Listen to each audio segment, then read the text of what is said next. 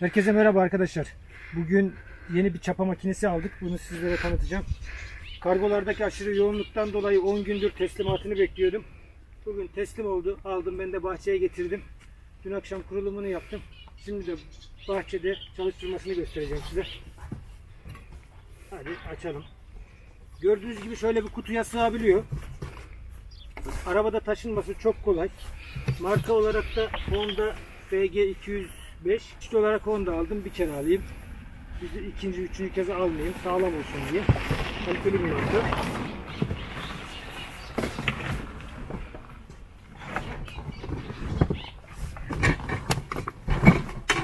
Böyle en güzel tarafı da 24 kilo arkadaşlar. Şu şekilde elde tutuyorsunuz, taşıyabiliyorsunuz. Arabanın bagajına koyabiliyorsunuz. Benim arabam Citroen C Elize. C Elize'nin bagajına sığabiliyor. Çok rahat taşınabiliyor. İnşallah gücü de yerindedir. Güzelce kullanabiliriz.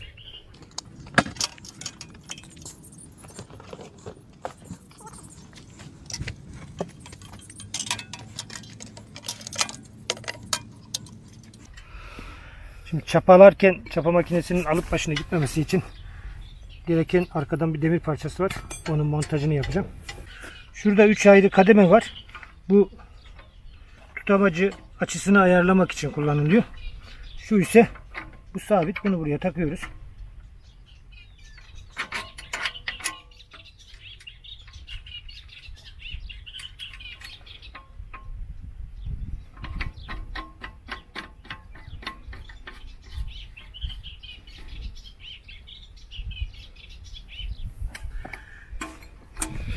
Bu kadar kolay arkadaşlar.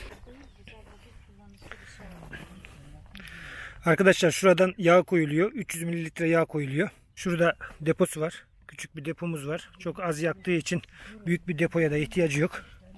Şurada şurada hava filtresi var. Kullandıktan sonra bunlar bir tehlike anında sağa veya sola getirmemiz yetiyor. Çalıştırırken ortada durması gerekiyor. Şu gaz pedalı. Pedala ilk boş bastığımızda görüyorsunuz şu an gaz vermiyor. Gaz vermek için şurada bir güvenlik mandalı var. Buna basılı tutarak gaz vermeniz gerekiyor. Şu anda gaz veriyor. Bıraktığın anda mandalı tekrar geri itiyor. Ve çapa çalışmasını durduruyor. Şimdi ilk çalıştırmasını yapalım. Benzin anahtarını kontrol ediyoruz. Jigleyi çekiyoruz. Şunu boşluğunu aldıktan sonra çalıştıktan sonra jigleri geri, yetiyoruz. İşte işlem bu kadar kolay arkadaşlar. Motorumuz gayet sessiz. 93 desibel. Büyük çapa makineleri gibi rahatsız edici bir sesi yok. Şöyle de gaz vereyim.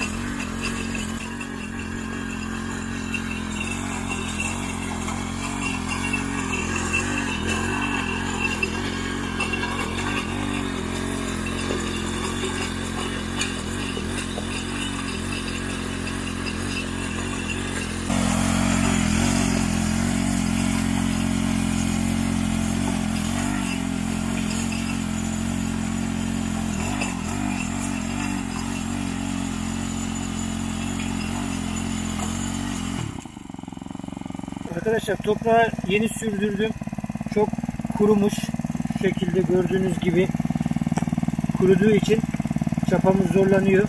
Yoksa normalde bunu un gibi yapacak. İki tur yaptığımızda gayet güzel bir hale gelecek.